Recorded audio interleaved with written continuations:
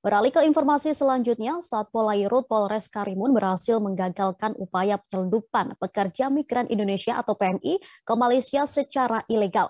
Sebanyak tujuh orang calon pekerja migran Indonesia ini diamankan sebelum diberangkatkan tanpa dilengkapi dokumen resmi pada Senin 17 Januari.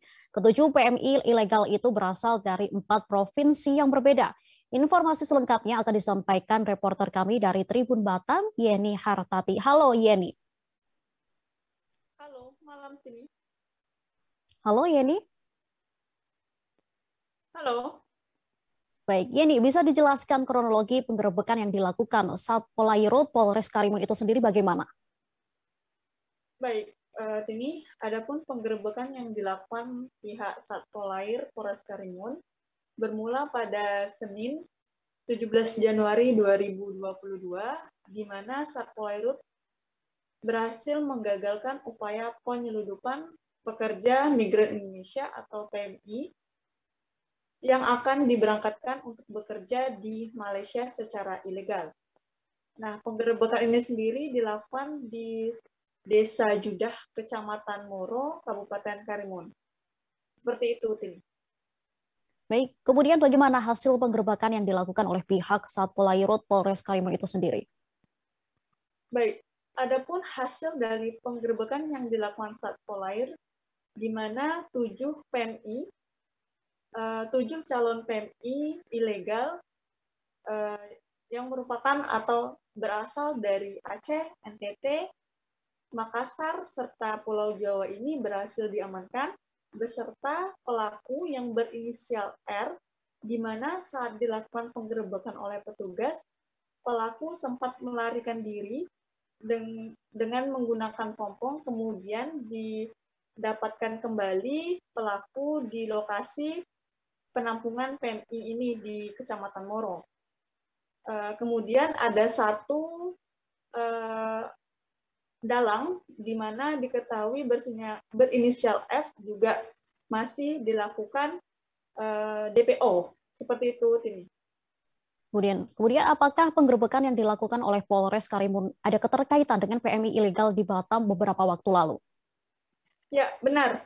Adapun keterkaitan antara PMI ilegal di Karimun ini dengan di Batam memang benar dan saat ini kasus PMI ilegal ditangani oleh Polda Kepulauan Riau. Ini.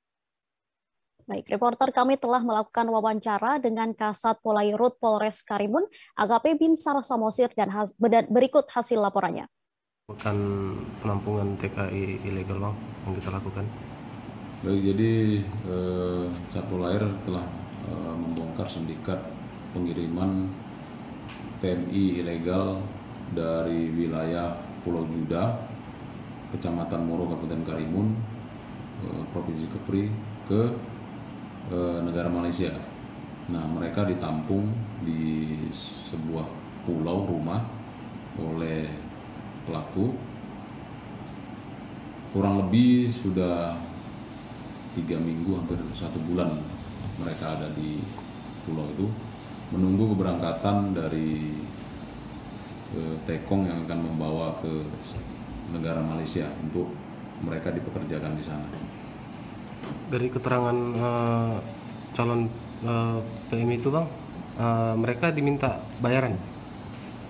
Ya, dari keterangan yang sudah kita ambil, masing-masing uh, calon PMI yang berasal dari NTT, Makassar, Aceh, Jawa, mereka diminta untuk per orangnya sebesar 6 juta sampai 6 juta 500 jadi variatif ada yang 6 juta ada yang 6 juta 500 untuk mereka bisa sampai ke negara Malaysia oleh eh, pengantar atau tekong yang ada di Pulau Duda.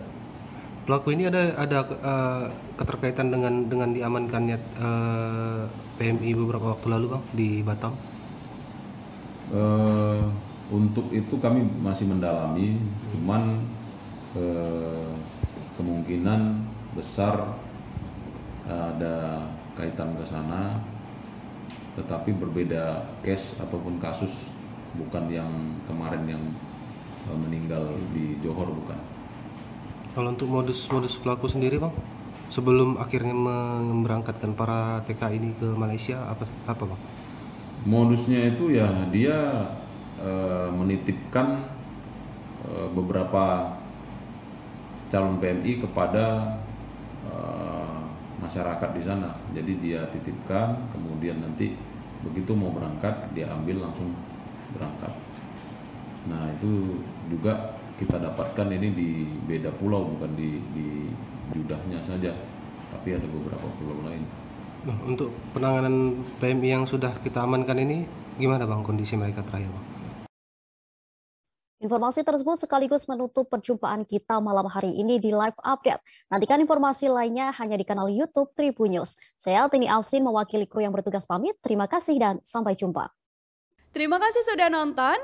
Jangan lupa like, subscribe, dan share ya.